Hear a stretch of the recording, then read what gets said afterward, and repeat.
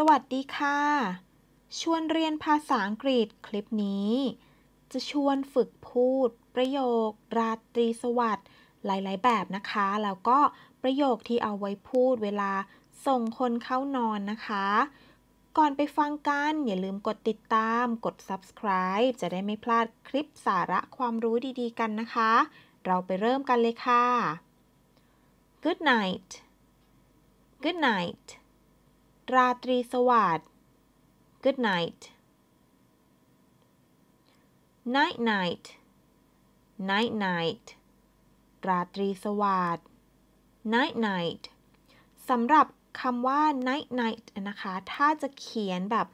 ย่อๆ แบบภาษาที่เป็นกันเองแบบเพื่อนกันนะคะ จะใช้คำหลังได้เลยนะคะ n i t e นะคะ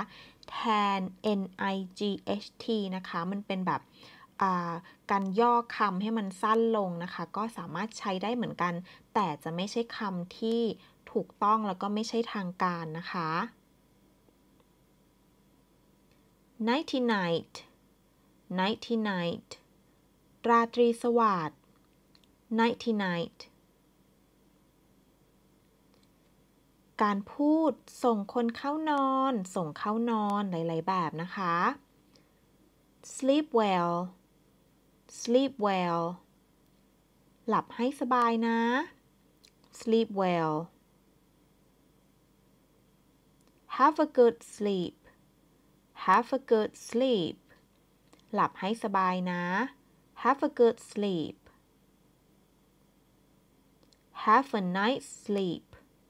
have a night sleep หลับให้สบายนะ have a night sleep sweet dreams sweet dreams ฝันดีนะ sweet dreams สำหรับประโยคนี้นะคะ ตรงคำว่า dreams นะคะ ต้องเติม s นะคะ เติม s ตลอดเลยนะคะ ถ้าเราจะไปพิมพ์คำนี้ให้ใครนะคะ ก็อย่าลืมเติม s ด้วยนะ have a good dream have a good dream ฝันดีนะ have a good dream don't let the bed bugs bite don't let the bed bugs bite ยุงไม่ให้ตาย ไรไม่ให้ตอม don't let the bed bugs bite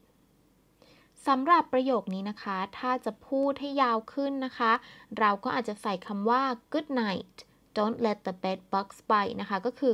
เติมคำว่า good night นะคะ หรือเติมคำว่า night night don't let the bed bugs bite นะคะ ไปข้างหน้าประโยคนี้ได้เลยนะคะ sleep tight don't let the bed bugs bite sleep tight don't let the bed bugs bite หลับให้สบายนะ ยุงไม่ให้ไต่ไรไม่ให้ตอมนะ sleep tight don't let the bed bugs bite